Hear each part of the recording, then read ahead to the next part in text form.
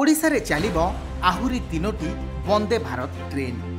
ଟାଟାନଗରରୁ ବ୍ରହ୍ମପୁର ରାଉରକେଲାରୁ ହାୱଡ଼ା। ଦୁର୍ଗରୁ ବିଶାଖାପାଟଣା ରୁଟ୍ରେ ଚାଲିବାକୁ ଥିବା ବନ୍ଦେ ଭାରତ ଟ୍ରେନ୍ ଓଡ଼ିଶାକୁ ଦେଶର ଅନ୍ୟ ପ୍ରମୁଖ ରାଜ୍ୟ ସହ ଯୋଡ଼ିବ। ଆସନ୍ତା ପନ୍ଦର ସେପ୍ଟେମ୍ବରରେ ପ୍ରଧାନମନ୍ତ୍ରୀ ନରେନ୍ଦ୍ର ମୋଦିଙ୍କ ଦ୍ୱାରା ଦେଶରେ ଦଶଟି ନୂତନ ବନ୍ଦେ ଭାରତ ଟ୍ରେନ୍ର ଶୁଭାରମ୍ଭ ହେବ। ସେଥିମଧ୍ୟରୁ ଓଡ଼ିଶାରେ ଏହି ତିନୋଟି ନୂଆ ଟ୍ରେନ୍ ଚାଲିବ। ଏହା ସହ ଓଡ଼ିଶାରେ ଚାଲୁଥିବା ବନ୍ଦେ ଭାରତ ଟ୍ରେନ୍ ସଂଖ୍ୟା ଛଅରେ ପହଞ୍ଚିବ।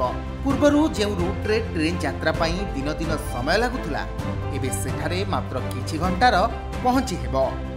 ସମୟ ବଞ୍ଚିବା ସହ ରାଜ୍ୟର ଆର୍ଥିକ ବିକାଶ ଆହୁରି ଦ୍ରୁତ ହେବ। ନିକଟରେ କେନ୍ଦ୍ର ସରକାର ଓଡ଼ିଶା ପାଇଁ ପନ୍ଦର ହଜାର କୋଟି ଟଙ୍କାର ଛଅଟି ଗୁରୁତ୍ୱପୂର୍ଣ୍ଣ ରେଳ ପ୍ରକଳ୍ପ ମଞ୍ଜୁର କରିଥିଲେ।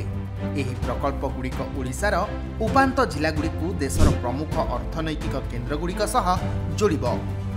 ଗତ ଦଶ ବର୍ଷ ଧରି ମୋଦି ସରକାର ସାରା ଦେଶରେ ବିଶେଷ ଭାବେ ଓଡ଼ିଶାରେ ରେଳ ଯୋଗାଯୋଗର ବିକାଶକୁ ସୁଦୃଢ଼ କରିଛନ୍ତି।